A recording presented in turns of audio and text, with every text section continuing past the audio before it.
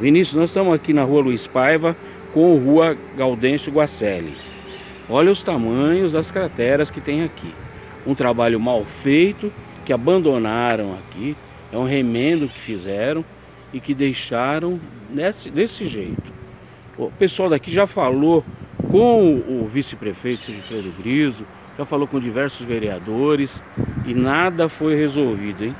Eles não conseguiram tapar esse buraco.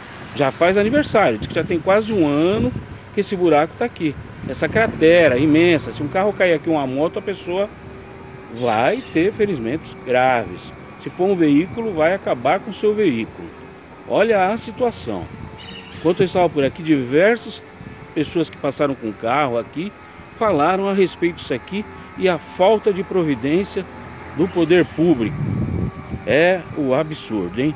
Rua Luiz Paiva com Rua Gaudêncio Guacelli, aqui na Vila Cis.